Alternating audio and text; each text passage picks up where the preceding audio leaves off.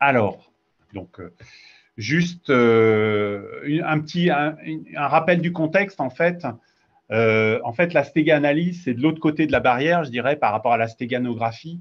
Donc, pour mémoire, la stéganographie, comme c'est illustré en fait sur le transparent, c'est la technique qui va consister à insérer des, informations d'une manière transparente dans, dans, un message qui semble complètement anodin et qui circule sur un, canal quelconque. Donc classiquement, hein, du son, de l'image, de la vidéo.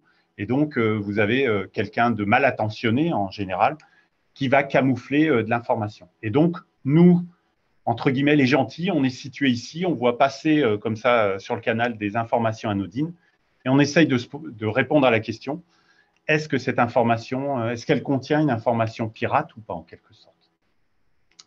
Alors, juste parce que pour connecter justement après à la suite, si on parle de stéga-analyse ou de stéganographie dans un contexte d'image, juste quelques notions en fait sur les algorithmes de stéganographie. En général, c'est des, algorithmes qui vont venir cacher de l'information dans des endroits où ça se voit peu, donc plutôt, si on prend du vocabulaire traitement de signal, plutôt dans les hautes fréquences, plutôt dans des zones comme on peut le voir ici de contours, puisque quand on va modifier ces zones-là, ça ne va pas trop se voir et euh, qui, vont très peu impacter, par exemple, les zones uniformes. Donc ça, c'est le principe de base. Donc ici est référencé quelques grands classiques euh, d'algorithmes de Stega-analyse euh, qui souvent sont utilisés dans les challenges, puisque un petit peu comme pour la classification des mages, vous avez des challenges en Stega-analyse. Un élément qui est important, vous avez deux types finalement de Stega-analyse c'est la stéganalyse qui consiste à lutter contre un algorithme en particulier de stéganographie et euh, les techniques, et c'est souvent là-dessus qu'on va plus se pencher, les techniques ont pour euh, objectif de lutter contre toute technique d'enfouissement d'informations. Donc, euh, je vais laisser la parole à Anne-Sophie. Alors, j'espère que vous m'entendez. Alors, Philippe voilà, Philippe a coupé euh, parce qu'on est dans le même bureau, donc ça, ça l'arsène un petit peu.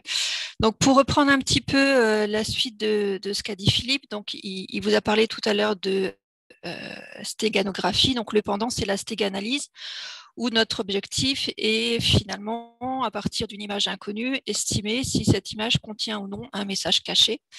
Donc on va retrouver finalement un problème euh, d'estimation à deux classes où on a une catégorie, les images qui sont appelées stego, donc c'est les images qui contiennent un message caché, et les images dites covers, les images de couverture, qui sont des images qui sont exemptes finalement de, de messages cachés. Alors, si on regarde un petit peu au niveau de la bibliographie, dans les, façons dont est abordé le problème, on retrouve finalement les deux grandes parties. Des méthodes qui sont plutôt euh, dirigées par l'intermédiaire d'un modèle, on est sur des méthodes de classification, avec des approches finalement euh, assez standards où on va d'abord à partir des images extraire un certain nombre finalement de, features, donc de caractéristiques qu'on va ensuite glisser dans un algorithme de classification pour obtenir une estimation.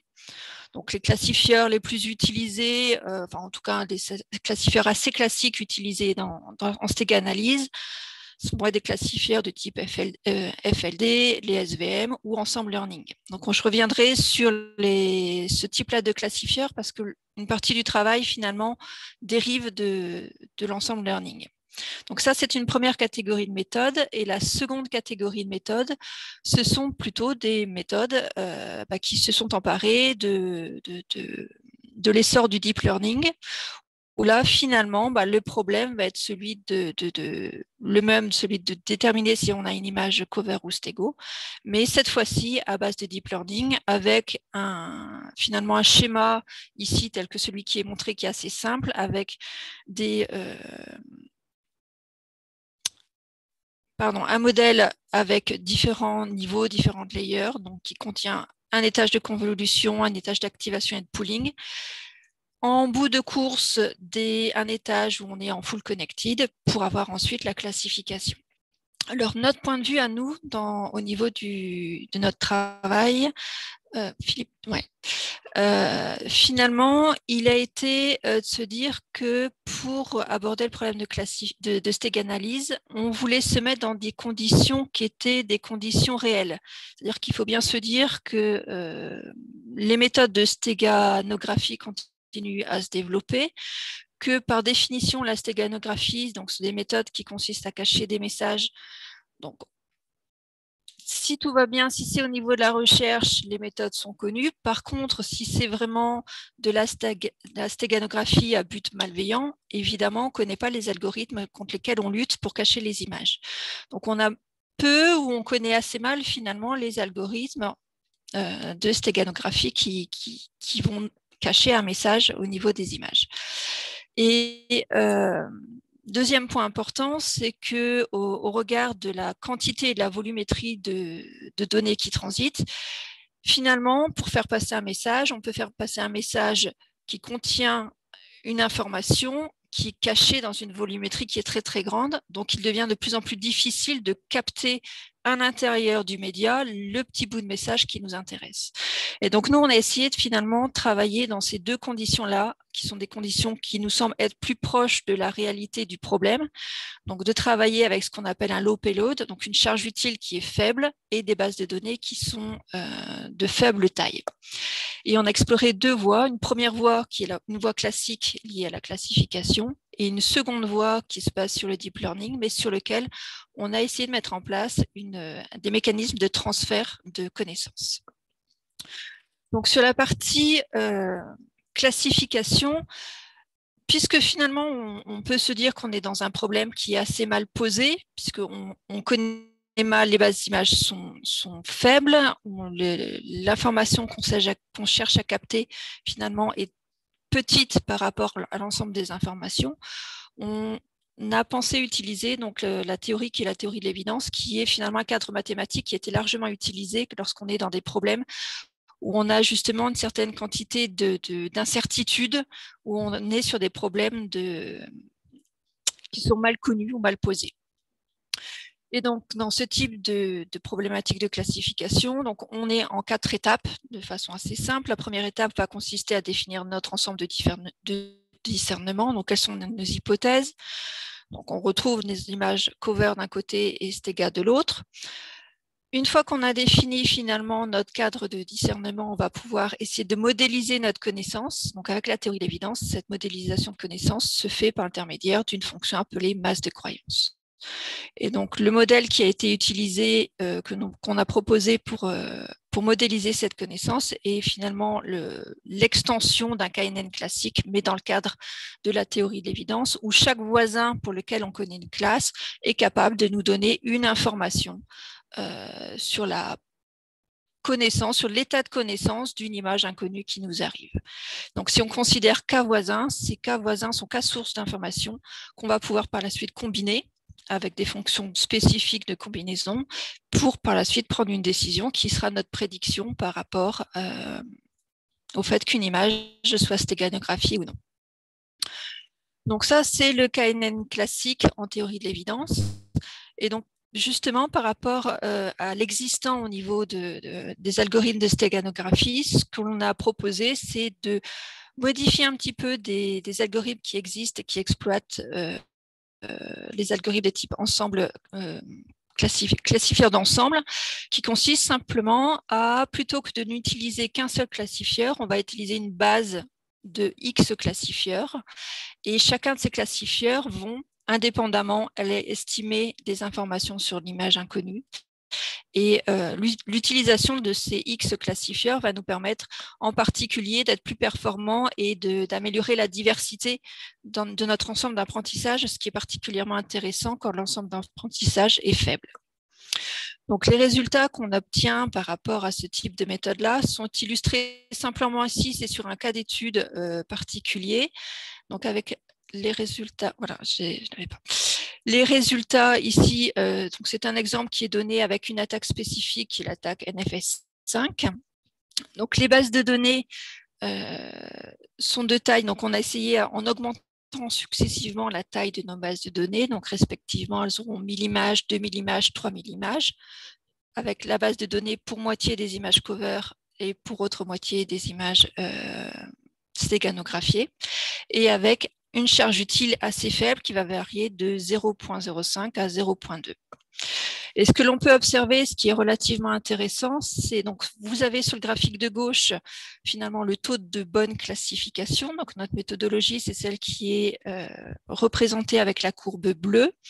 Par rapport à la méthode de référence, on observe qu'on est légèrement au-dessus en termes de performance de bonne classification. Par contre, ce qui on parlait tout à l'heure de, confiance et de par rapport euh, aux, algorithmes.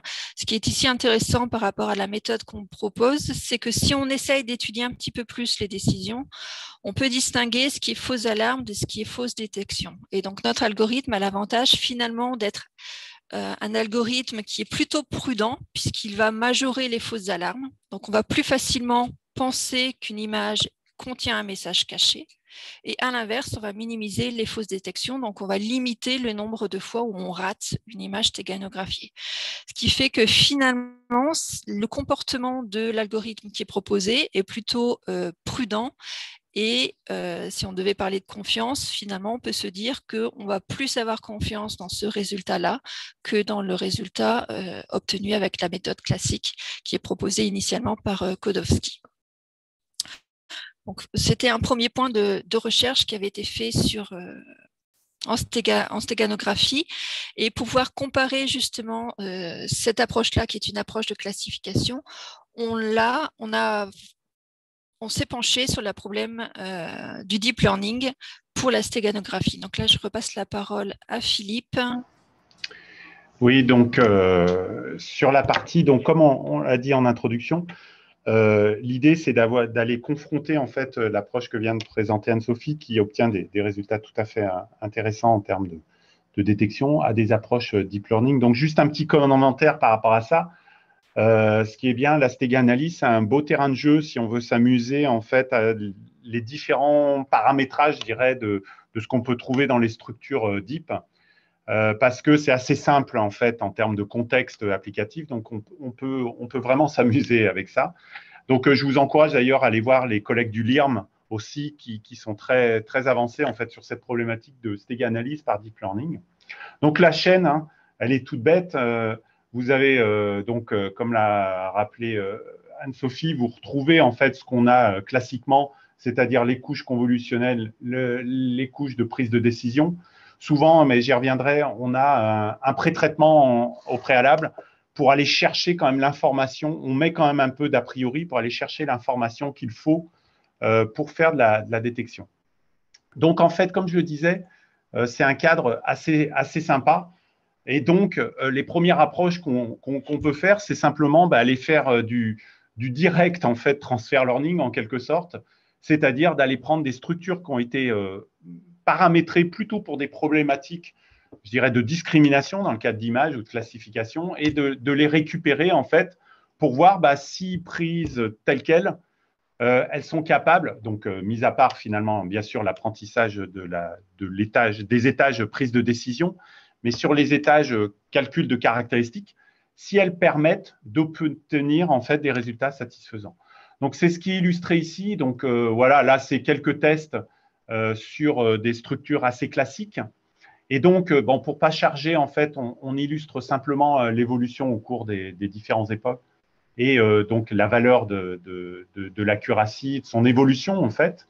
Et en trait bleu est rappelé, en fait, ce qu'on obtenait avec l'ancienne stratégie, on va dire plutôt basée vieille méthode ou c'est un peu péjoratif, basée modèle en quelque sorte. Et en fait, ce qui est intéressant, c'est que, bah, en fait, on, sans, surprise finalement, si on n'a quand même pas une adaptation finalement un petit peu de, euh, la structure peut-être, bah, les résultats sur des bases de données, euh, pourtant, euh, puisqu'on n'entraîne que la fin, en fait, donc sur des bases de données assez raisonnables, bah, en termes de résultats, on reste en dessous finalement de l'approche directe. Alors, comme je le disais, hein, euh, l'idée hein, de cette, présentation, c'est aussi un petit peu de montrer euh, des choses en cours, des choses sur lesquelles on peut s'amuser, etc. On peut tout à fait, justement, si on prend celui qui a l'air de se comporter le mieux en termes de structure, c'est-à-dire VGG, notamment en VGG 19, bah, on peut s'amuser à sortir euh, quelques, couches Et en fait, on se rend compte que bah, il y a une espèce d'un peu de, de, de, juste milieu à trouver dans le nombre de couches. C'est-à-dire, bah, comme assez classiquement, ce n'est pas forcément avec l'utilisation de toutes les couches que dans ce problème-là, on obtient le, meilleur résultat. Alors justement, euh, comme je le disais, là, on a fait vraiment l'opération directe, c'est-à-dire on prend une structure qui est déjà entraînée et puis hop, on l'applique directement en termes de descripteur. Donc, ce qu'on peut faire, c'est essayer de travailler justement sur une adaptation des structures. Donc, ça permet bien d'illustrer peut-être la, euh, finalement, dans certaines applications, comment il faut peut-être euh, essayer d'adapter un petit peu des réseaux préentraînés. Donc là, par exemple, euh, ce qu'on propose, c'est d'ajouter finalement sur la structure qui semblait fonctionner le mieux, c'est-à-dire VGG 19, d'ajouter une procédure de normalisation par l'eau.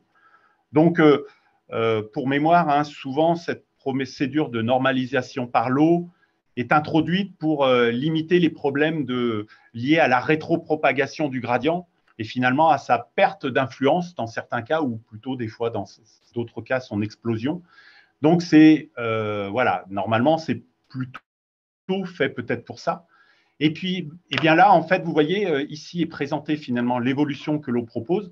On part d'un VGG euh, classique. On va bien sûr réapprendre, comme d'habitude, hein, la, partie finale, à savoir la partie full connected qui va prendre la décision. Et ce qu'on ajoute, en fait, dans chacun des blocs, c'est euh, justement euh, cette normalisation par l'eau et dont euh, les paramètres, notamment les paramètres de translation et de mise à l'échelle qui sont présents dans cette normalisation par l'eau, vont être, elles, réapprises durant l'apprentissage, mais pour le contexte de, de Stega analyse. Donc, c'est-à-dire que les descripteurs en soi-même, c'est-à-dire les poids, pardon, des, la couche convolutionnelle ne bouge pas. En revanche, la partie normalisation euh, bouge. Et donc, bah, juste en faisant ce, genre de petites modifs, en quelque sorte, eh bien, on a une, adaptation finalement peut-être un peu plus au contexte, en tout cas la problématique. Donc, à nouveau, un des résultats, euh, l'idée, c'est juste de montrer des tendances, etc.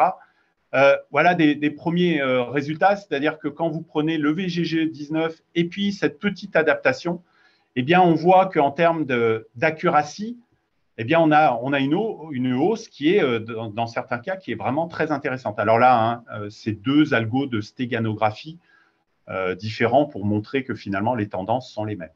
Alors, juste sur ces FKV, FP, ben, justement, pour continuer un petit peu sur l'adaptation, comme je l'ai dit, en Stega analyse, en général, c'est intéressant d'aller aider la structure, d'aller trouver les bonnes informations.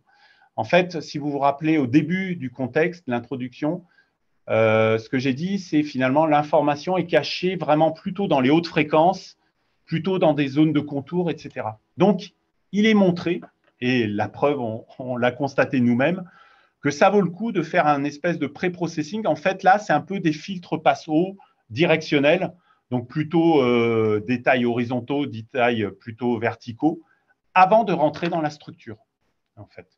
Et ensuite, ben, on retrouve la structure telle que je l'ai expliqué, c'est-à-dire un pseudo VGG 19 avec euh, de la normalisation par l'eau. Et donc, euh, ben, en fait, on apprend juste les paramètres donc, de la décision finale, de la normalisation par l'eau. Et en fait, en faisant ça, eh bien, comme je l'ai dit, euh, on obtient des résultats qui sont euh, meilleurs. Donc, on l'a vu par rapport au VGG 19 euh, classique, voire meilleurs que certaines structures. Donc là, c'est des structures qui ont été développées spécifiquement pour la Stega analyse. Alors bon, je me méfie toujours hein, des résultats. Voilà, là, c'est dans le contexte qu'on a fait, on obtient une amélioration après, euh, ce qu'il faut retenir, c'est surtout euh, peut-être finalement l'idée en fait, euh, l'idée de la modification. mais voilà. un élément par contre qui est intéressant, c'est que si on continue à mettre l'ancien monde, j'allais dire, c'est-à-dire l'approche qu'a présentée Anne-Sophie, eh bien, on voit que étant donné les a priori qu'on mettait dans la construction de la méthode quand on calculait les descripteurs et puis la problématique de fusion, etc., bah, finalement, ça reste très, très compétitif par rapport à cette structure, cette structure qu'elle est proposée là. Donc, en fait, on voit que c'est toujours bien, toujours intéressant de, de, faire cohabiter peut-être les deux et pas tout mettre à la poubelle, je dirais, euh, directement. Donc, je vais assez vite hein, sur l'analyse des, résultats. Euh, n'hésitez pas après.